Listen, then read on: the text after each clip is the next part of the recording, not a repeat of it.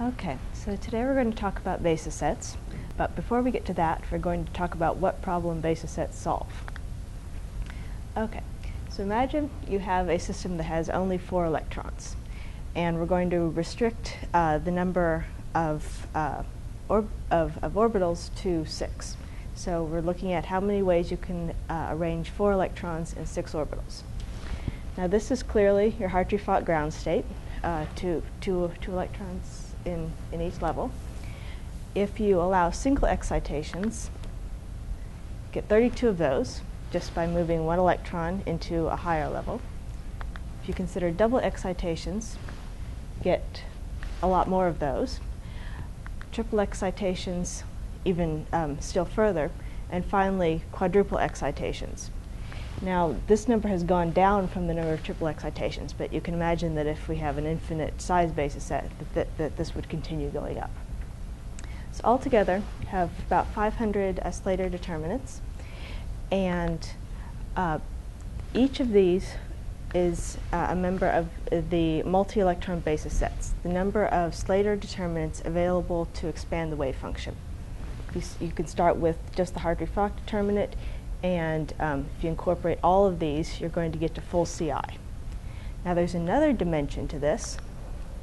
If you weren't restricting your four electrons to just, uh, to just six levels, and instead gave them uh, a lot more room to play in, then, um, then this is the one electron basis.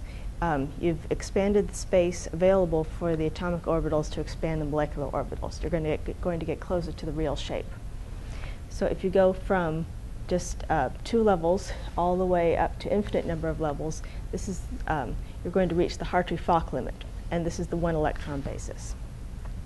So um, the full multi-electron basis is going to recover all the correlation within a given one electron basis, and the full one electron basis is going to recover uh, all of the SCF energy without any, any limitation on the shape of the molecular orbitals. So today I'm going to talk about the one electron basis, and on Wednesday Trent is going to talk about the multi-electron basis with uh, his talk on configuration interaction. So what is uh, one electron basis? Well, if you go both ways in both dimensions, you're finally going to solve the exact non-relativistic Schrodinger equation. So uh, what is a basis set? Um, so it is uh, any collection of shapes that you can put together in, in a linear combination. Uh, these are usually uh, defined in, in 3D space. Um, and for convenience, we usually want them to be uh, orthogonal. And we put one, uh, one uh, function, one electron into each of them. This is this uh, linear combination of atomic orbital, molecular orbital approximation that was in the previous lectures. Um, now there are many possible shapes. You can imagine that some would be very good, some would be very bad. Um, naturally, we want to uh, we want to solve uh, the problem in as few uh, basis functions as possible. So we want to choose the very best shape. Um, now there are several categories of very good shapes. Uh, physicists like to use just plane waves. Um, however, for um, that's not surprising since they often have, lo have long range and repetitive systems. Whereas for chemistry, we often deal with just single gas phase molecules, and so it doesn't make sense to have a basis function that expands over all space. Uh, some older programs use Slater functions, STOs, Slater type orbitals, and we will look at their shape soon. Um, but most modern quantum chemistry programs use Gaussian orbitals. G Gaussian type orbitals here. So, a Slater type orbital looks something like this. This is the nucleus of, of um, this, this is a radial distribution of electron density, probably just electron, uh, about a single atom. So this is at the nucleus, this is at the sides. Um, this is as you go away from the nucleus. Um, this has both correct short range and long range behavior. So the short range means that this cusp is actually correct, and long range means that it's going has the correct uh, asymptotic distribution. Um, and these are in fact correct for things like hydrogen atoms. The shape of Slater type orbitals has this form, have a normalization constant, and then x to x, y, and z to the a, b, and c um, powers respectively. A, B, and C control angular momentum, so the total, total angular momentum is simply the sum of A, B, and C. And the key shape determining factor is this e to the minus, minus zeta r, where zeta is going to control the width of the orbital. A large zeta means that this is a very tight orbital, a small zeta gives a very diffuse function. Now, we can compare this functional form with that for a Gaussian type orbital. Same normalization constant, same x to the a, y to the b, z to the c. However, now this is e to the minus zeta r squared. Um, angular momentum, again, controlled by a, b, and c. Width of the orbital, again, controlled by zeta. However, if you compare the Slater type, this red thing, with the Gaussian type, see that the, that, that, that, that this uh, shape is different. It doesn't have this cusp um, near r equals 0, and it falls off too quickly at large r. So this is no longer hydrogen atom-like, even for 1s. However, this, um, nevertheless, these Gaussian type orbitals are used almost universally by quantum chemists. And the reason for this is this Gaussian product theorem, um, which says that product of a Gaussian type orbital, uh, a Gaussian and another Gaussian, is simply a third Gaussian. And this one product, um, and you'll recall from the Hartree-Fock lectures that there is a lot of multiplying together of, of, these, of these little orbitals. So this can, comes in very handy in the computation of integrals. And this is so advantageous computa uh, computationally that the quantum chemists are willing to throw out um, our uh, are willing to do almost anything to use Gaussian orbitals, even though they don't quite have this correct shape. What for one way to overcome this is to make a Gaussian type orbital look as much as possible like a Slater type orbital. So the Slaters are more accurate, but it takes longer to compute their integrals. So you uh, put together enough Gaussians in a linear combination, that's this Ci, you're summing over a Gaussian, a number of Gaussian type orbitals, so the little subscript i here, i here, until they look like, um, until you get this contracted Gaussian type orbital. And this looks a lot like a Slater type orbital. Um, and what, and the names of these contract, uh, combination of these Gaussians to mimic Slater type orbital is called, uh, often called an STONG. The one you'll see most often is STO3G. And so it's important to remember that that STO3G is not composed of Slater type orbitals. It's composed of Gaussian type orbitals that are arranged to look like a Slater type orbital. The way these uh, contracted Gaussians work, um, so here is the Slater distribution. If you take one Gaussian orbital, that would be this. Doesn't look at all like it, like the Slater. But if you, that's STO1G. If you put two of them together in STO2G, it's looking closer, and STO3G, which you may have heard a lot of, is closer still. Um, so we've gone from one wave, uh, one orbital to, to three orbitals. So that would seem to be increasing the computational cost significantly um, because you have three coefficients as opposed to one coefficient. However, um, so if you optimized all these coefficients each time, that would be costly. However, these contracted Gaussians let you um, put all put these three together in a fixed ratio, and so it um, and so you're only optimizing a one one uh, coefficient.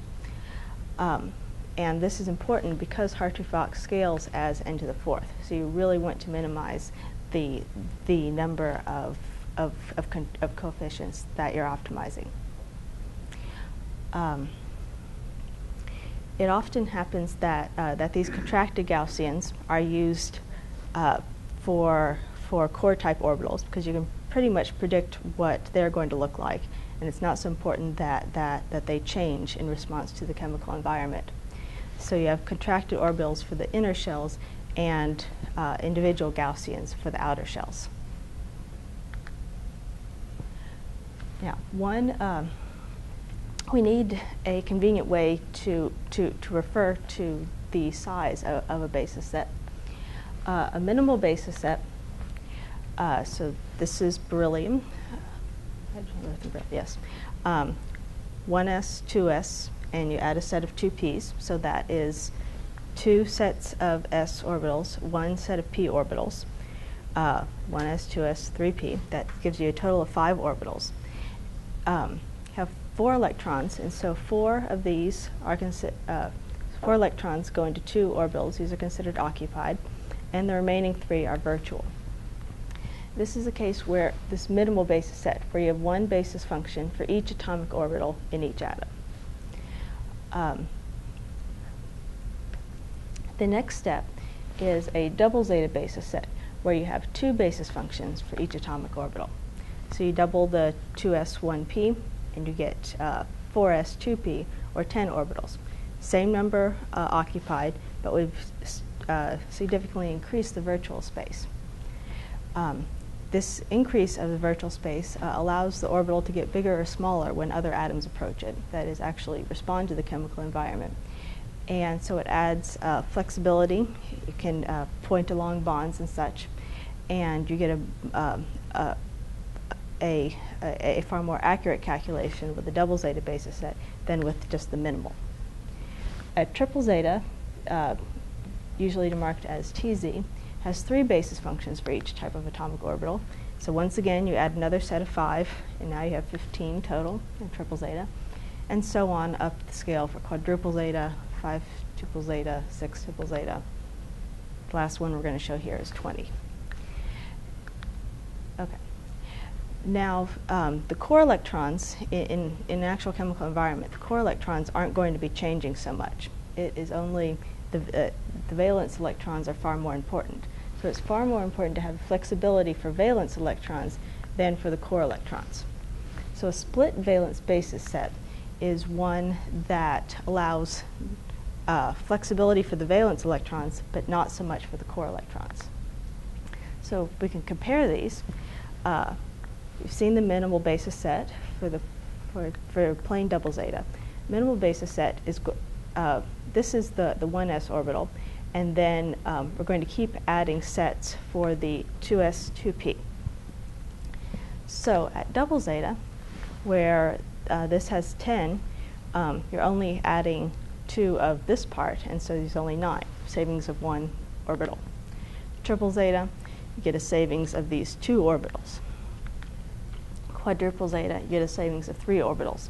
Now, this is not so dramatic for beryllium, but if you go significantly higher in the periodic table and more electrons are considered core beyond simply 1s, then the difference between uh, a, full a full double zeta and a split valence double zeta is going to become more important. So this is one of the ways we can reduce the basis set size. Okay, occupancy.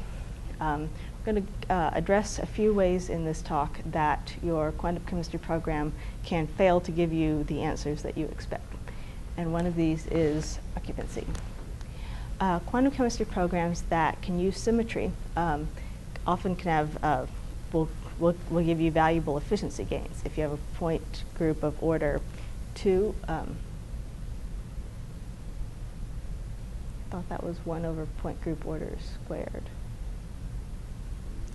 um, anyway, uh, things can be far, far, uh, far, more efficient if you use uh, symmetry. However, um, you have to have a good initial guess because once you uh, allocate electrons to each of the point groups, for instance, uh, these four in uh, C2v, then because there aren't any coupling between each subgroup in the orbitals, then um, then that orbital occupation is going to remain throughout, unless your program is very smart. So if you uh, start off with an incorrect guess, you're going to end up with an incorrect answer. Uh, because what you've effectively done is calculated an excited state rather than a ground state energy. So SCF energies are never going to match the ground state because you have an excited state. And if you do a frequency analysis, then you're also not going to match. Then you also also may have imaginary frequencies because you haven't um, because you're, you're because you're not computing a surface that corresponds to um, the one that you're after. Uh, the larger the basis set, the more likely this is going to happen. And um, even if you specify the basis set, if you do this uh, naively and don't pay attention to the uh, order, uh, to the order of these four groups, then you can still get an incorrect answer. So the way to do this, uh, to alleviate this problem, is uh, usually to simply run a, uh, run a calculation with a very small basis set. STO3G will usually get it right, and then specify um, that resulting uh, occupancy when you run a calculation with a larger basis set. Okay, so so far we've just covered um, space for um, space in the basis set uh, to to um, for uh, atoms, which usually you know have a good amount of spherical sy symmetry about them. However, as soon as you put an atom in a chemical environment, for instance, this hydrogen in HCN, um, the electrons are going to want to be more, um, are going to want to form a chemical bond, to be, to be more um, in this region. And if all of your basis functions are spherically symmetric, then that is, then, then that shape is not available to them. So the, uh, so the way to uh, alleviate this is to add uh, basis functions of a higher angular momentum. So you can imagine that if, that if we add uh, a set of p orbitals, which are going to look like this, to a hydrogen, then suddenly it can distort um, as it needs to um, in order to in, or, um, uh, in order to form this bond. So we're allowing greater flexibility. Um, the name for such functions is usually uh, polarization functions. Um, and uh, so S functions usually uh, are polar, uh, you can, are allowed to be polarized when you add the presence of P functions, as for hydrogen. And P functions can polarize if they're mixed with D functions, like for heavier atoms. Uh, so if you have a function of angular momentum L, mi mix it with basis set functions of L plus 1, and you have some polarization. Uh, this gives uh, polarized double zeta or double zeta plus polarization basis sets. And these are very important. It's not too often that you'll be using a basis set that doesn't have polarization functions. Once again, there is a pitfall in this. You'll recall from your, uh, from your uh, PChem class that there are five d orbitals, that they look something like this. Each looks pretty distinct. However, um, computers are going to prefer to work with six d orbitals, um, which are called the Cartesian d functions as opposed to pure angular momentum d functions. Uh, so they look like this, and the and, and, the sixth one just looks like a big um, um, um, just looks like an s orbital. So you're just adding minimally to the shape that it to, to the shape that your um, uh, molecular orbitals can be expanded into. Uh, the answers, if the program is run with 5D or 6D orbitals, are going to look very alike. However, as soon as you add that, that sixth D function, you're giving uh, your wave function more room to expand, so the energy is going to be slightly lower. Um, and they're close enough that you can often run, run, run into trouble if you don't recognize that, that this is what is going on. So for D functions, there can be five or six.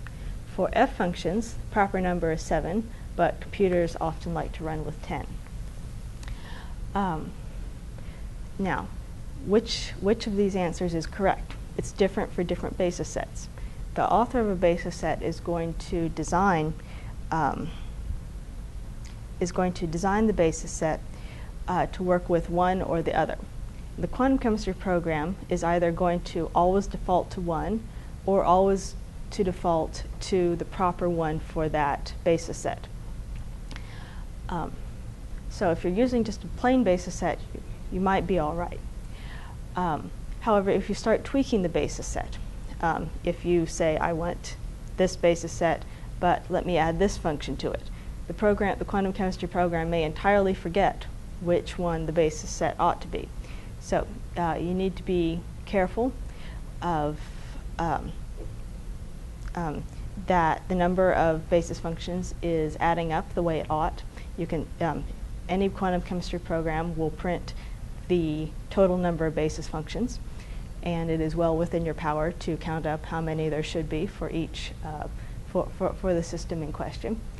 Um, and if anything is going, and if anything in your answer is suspect, this is a good thing to, to pay attention to. Um, if you get it, if things are looking suspicious, read the manual to figure out how to specify it correctly. Okay, so we've covered polarization functions. Now we're going to cover diffuse functions. Um, when the electron density exists far from the electron, from, far from the nuclear centers, uh, normal basis uh, sets uh, aren't um, aren't in that space in order to cover that shape. Um, one can add diffuse functions to uh, to their basis set. And these are functions that have a small zeta, and so they hold the electron far from the nucleus. You can imagine that this would be important for anions. This is hydrogen. This is uh, an exaggeration of what the hydrogen anion would look like. And you can see that this would be greatly improved by very fluffy functions. Uh, diffuse functions are necessary for anions, uh, Rydberg states, electronegative atoms like fluorine.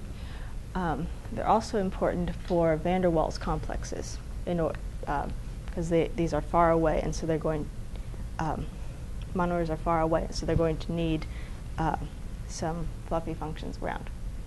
Um, and this is one way in which your quantum chemistry calculation can go very wrong. If you actually need these need diffuse functions and don't have them, you can get uh, qualitatively incorrect answers. So in this step, we're adding functions with valence angular momentum, not higher angular momentum like for polarization functions, but, and, but with smaller than valence exponents. Yet another pitfall. Um, as you go to larger and larger basis sets, uh, particularly large basis sets that have diffuse functions in them, these are prone to near linear dependency. Um, so your description of the space span, spanned by the basis functions is overcomplete. And um, this will often cause your quantum chemistry program to simply stop if it is MOLPRO, or to be slow to converge or behave uh, erratically.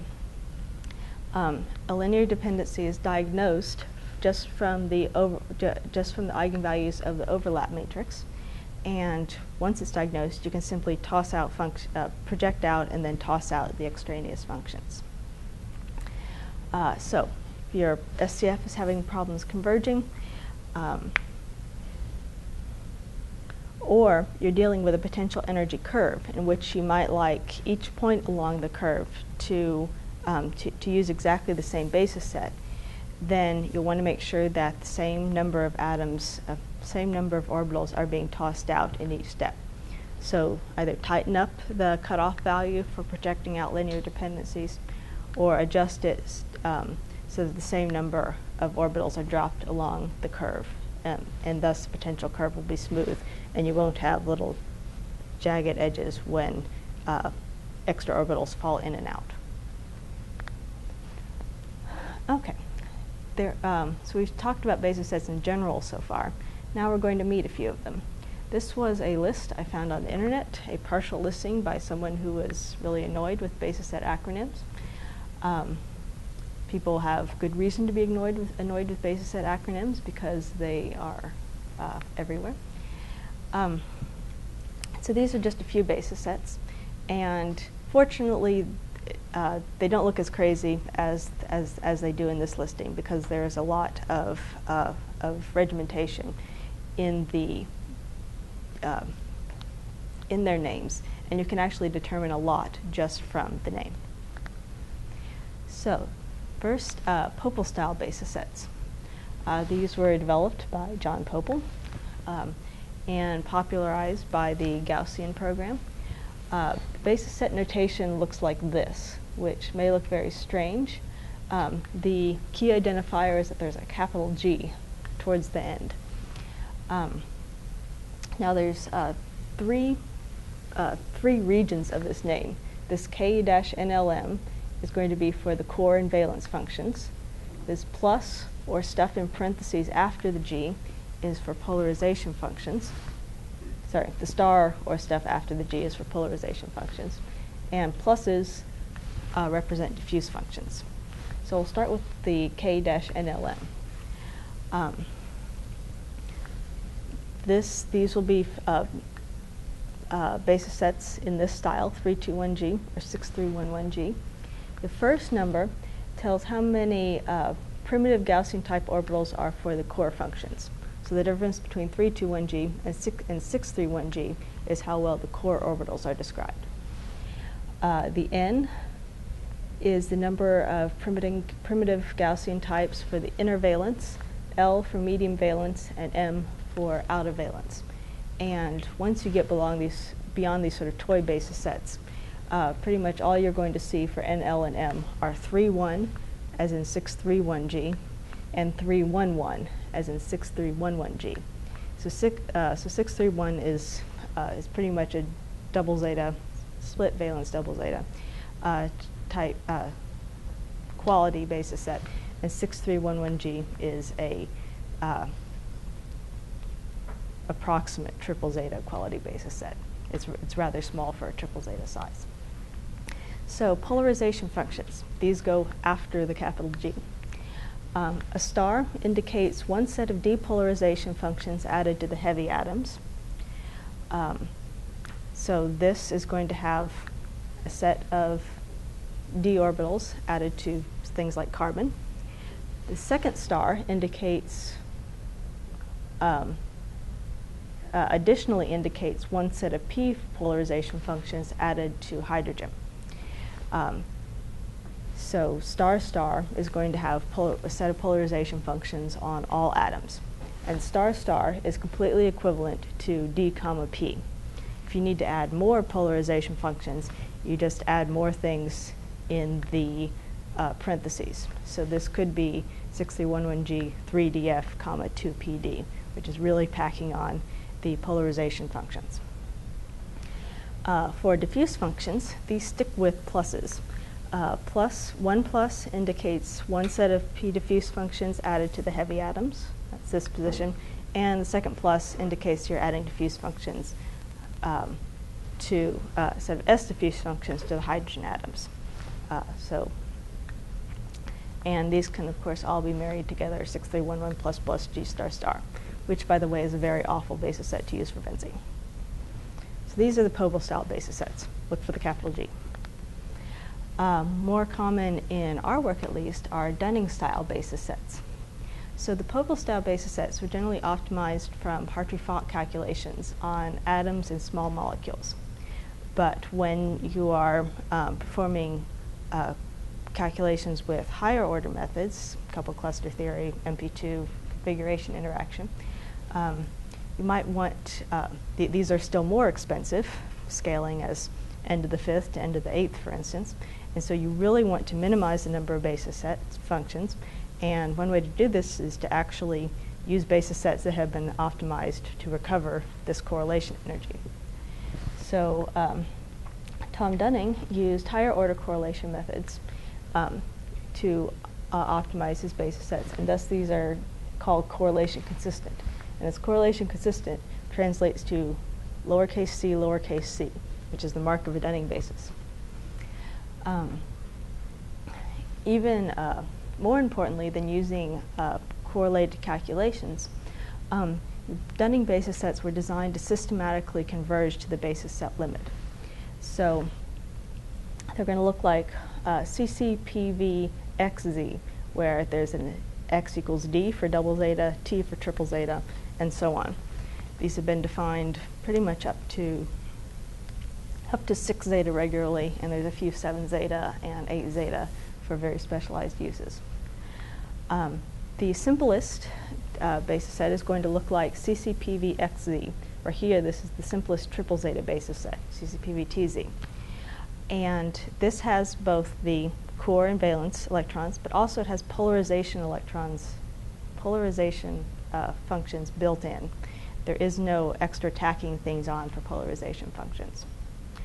Uh, functions are added in shells so that all uh, orbitals with a similar contribution to the energy are added together.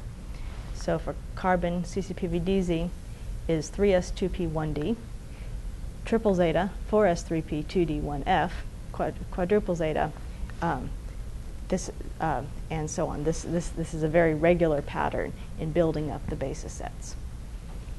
Diffuse functions are functions for every angular momentum present. Um, and this is indicated by adding an AUG out in front of this. So for carbon, you can see S, P, and D. Um, CCPVDZ has a diffuse S set of S, P, and D orbitals. Can keep on going higher. Extra diffuse functions are available with double aug, triple aug, and so forth. Um,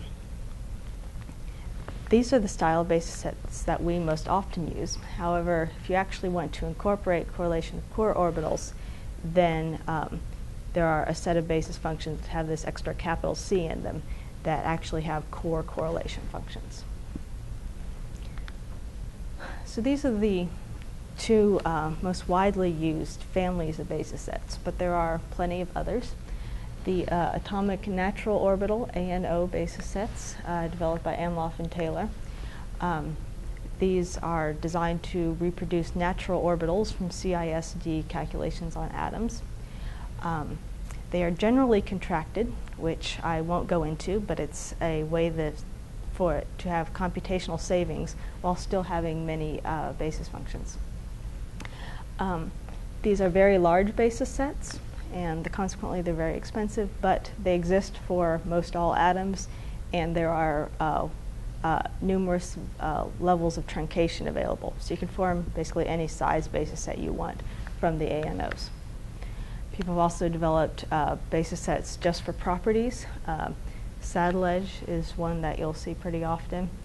Um, so if you basically just have to look up and see if there's anything particularly good for your for whatever role you're seeking.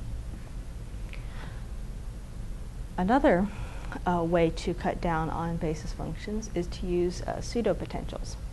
So we've already said that core, core orbitals are generally not um, are generally not changing in a calculation, but as you go down the periodic table, those electrons can really add up. Um, and so one might want a way to ignore all of the core electrons and just run your quantum cal chemistry calculation on the valence electrons that are of chemical interest.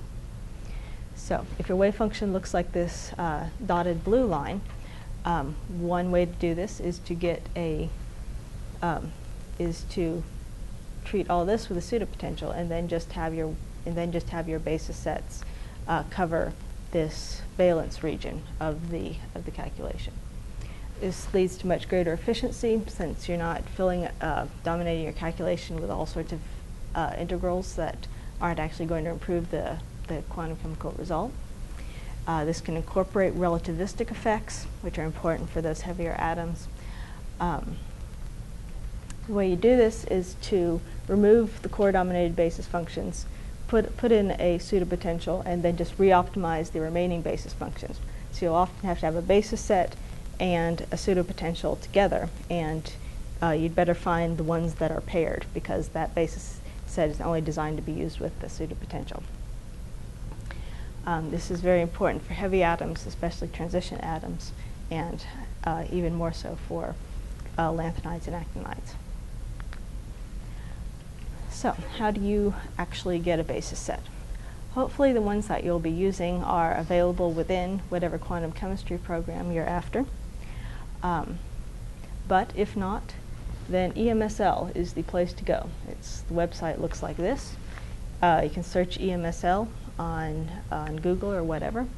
Then you just search by the basis set name.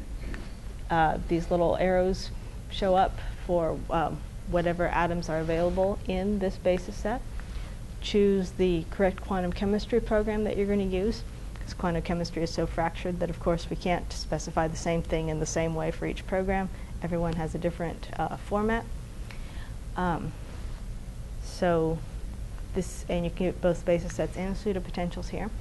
So for instance, double log CCPVDZ, or uh, for carbon, or for hydrogen, sorry, this is just CCPVDZ, um, you'll recall that this was just a 2s, 1p, and indeed shows two sets of s orbitals, one set of p orbitals.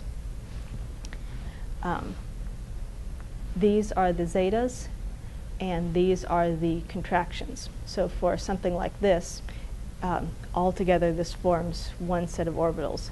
But for a set like this, you have to add up uh, s orbitals with these three zetas in these proportions. Carbon is going to have 3s, 2p, 1d for CCPVDZ, and indeed you see 3s, 2p, and 1d here then just look in the manual to see how to specify this in your actual calculation. Okay.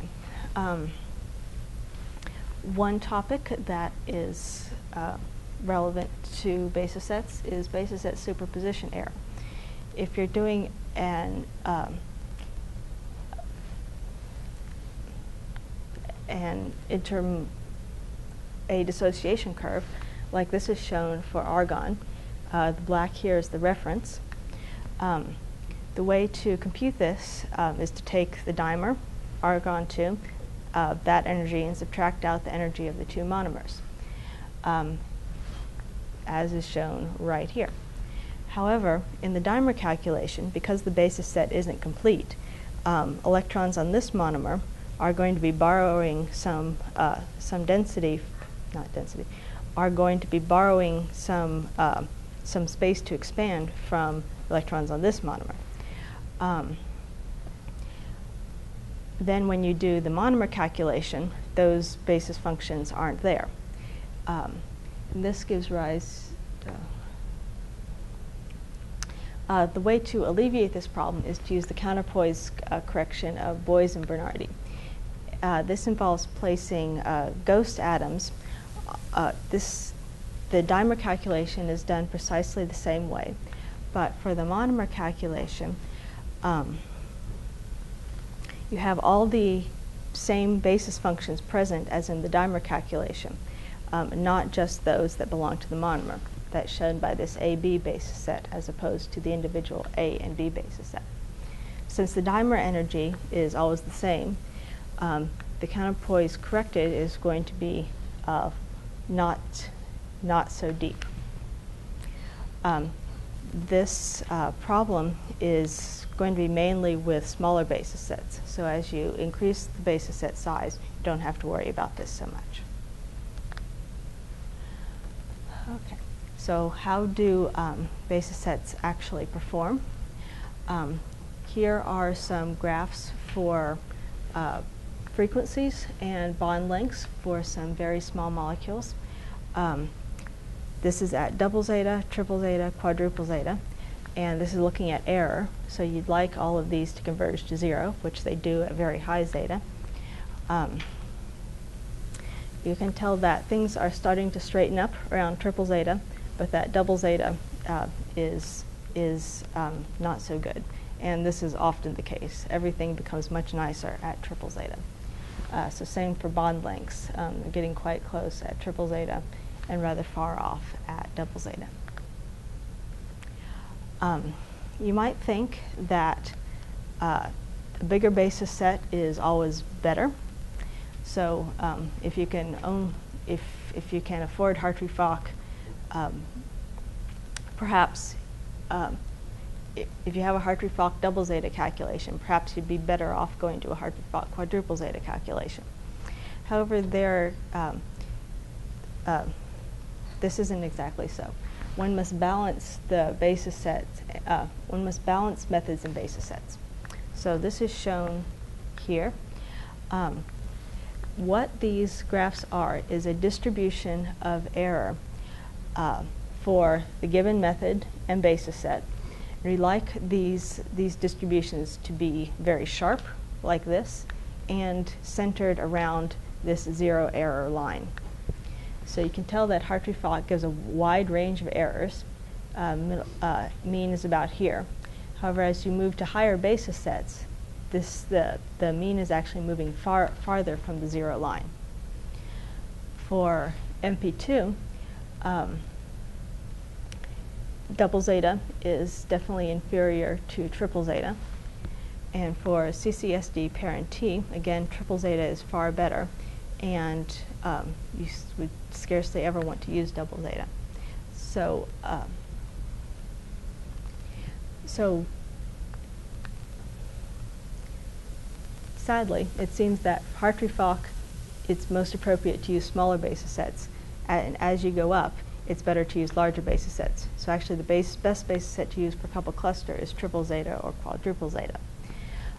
Um, that was not very well explained.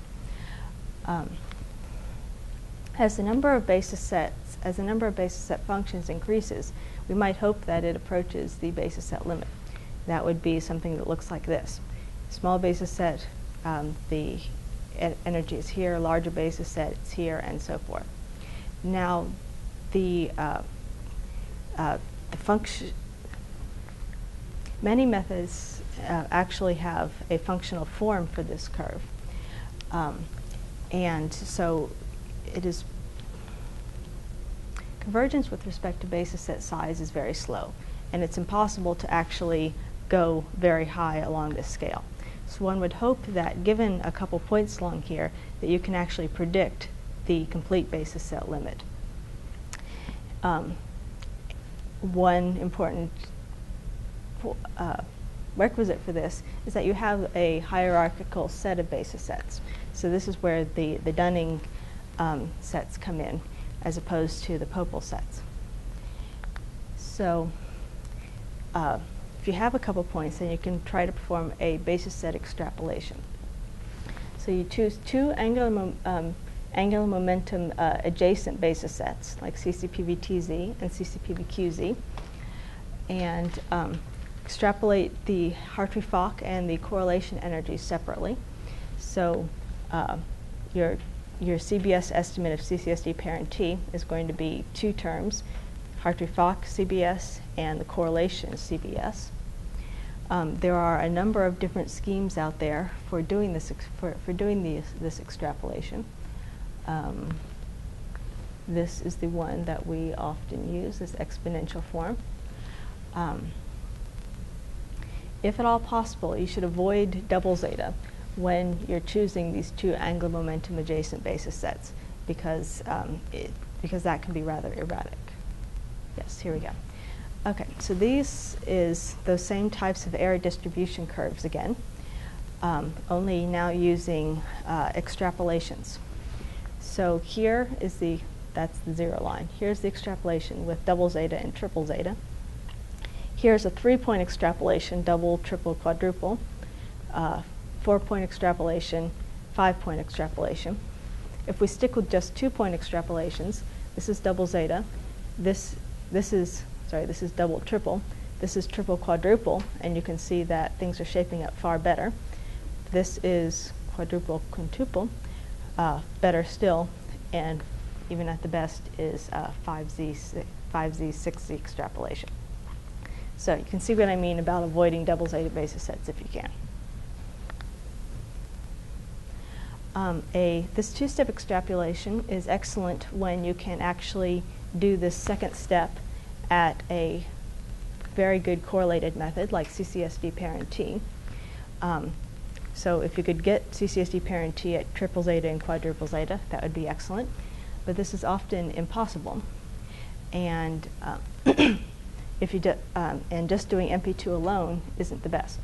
So what we often do in this group is to have uh, is to do the Hartree-Fock extrapolation do a CBS extrapolation of just MP2, and then add on this delta CCSD paren T correction, um, which is uh, simply the difference in CCSD paren T and MP2 correlation energies evaluated at a smaller basis. um, so uh, a Hartree-Fock and MP2 use the larger basis set and then use a smaller basis set to recover the correlation between um, to recover the correlation from coupled cluster. Um, these CBS limit things are, are quite effective. Okay, Some other basis sets that you might uh, hear floating around our lab at least are the months basis sets of uh, Truhlar.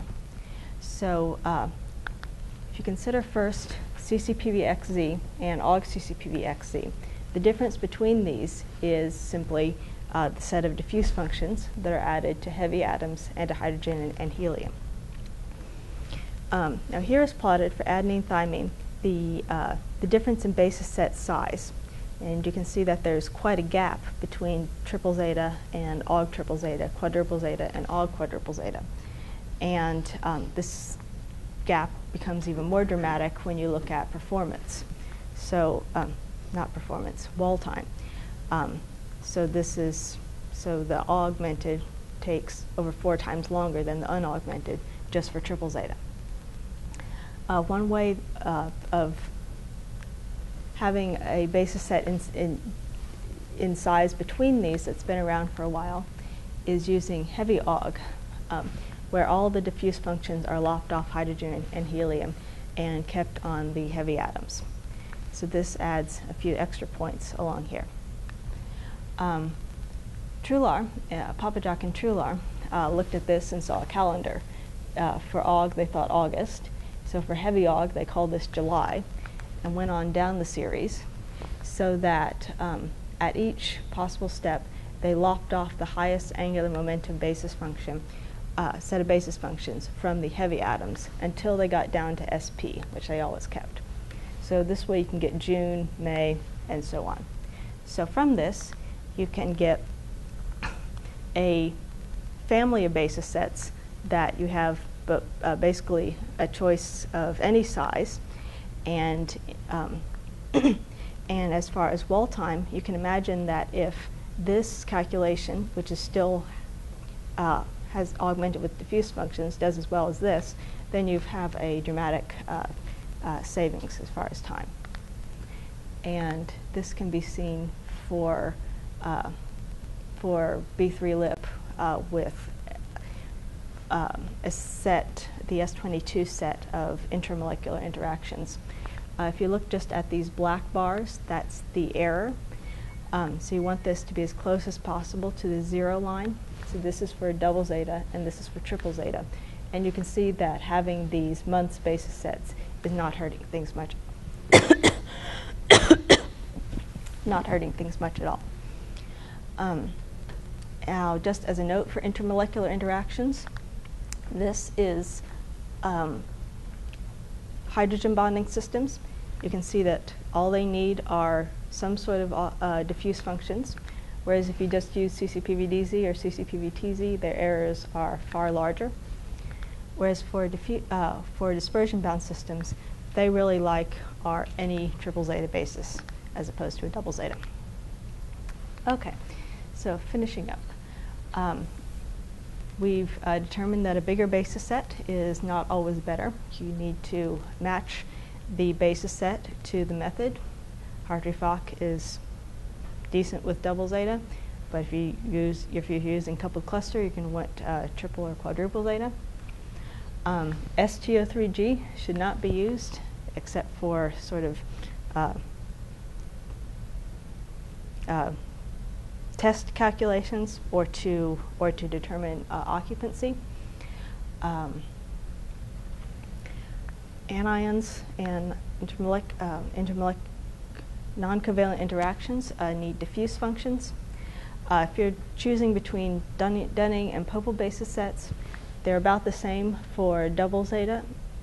Um, however, um, getting into the Dunnings, CCPVTZ, is going to be much better than the uh, respective Pople triple Z.